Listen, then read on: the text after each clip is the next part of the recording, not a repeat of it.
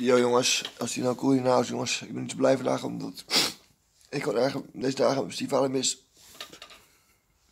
Ik ga niet doen alsof, alsof ik gewoon blij ben.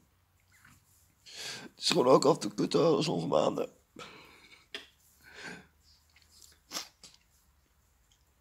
En eh, nou, maar, nou heb ik af en toe uh, heb ik geen uh, tijd om te vloggen, maar gewoon mijn, mijn stiefvader mis met dement. Gewoon kut die maanden. Eigenlijk zo kut jongens. Dus hierbij een korte uh, video voor jullie. En dat jullie weten dat ik het mis mijn uit deze, maanden. Nou, nu gezegd heb ik, doe niet alsof, jongens. Ik ga nooit alsof doen dat ik het niet mis. Gewoon, het is gewoon kut, zo'n maat.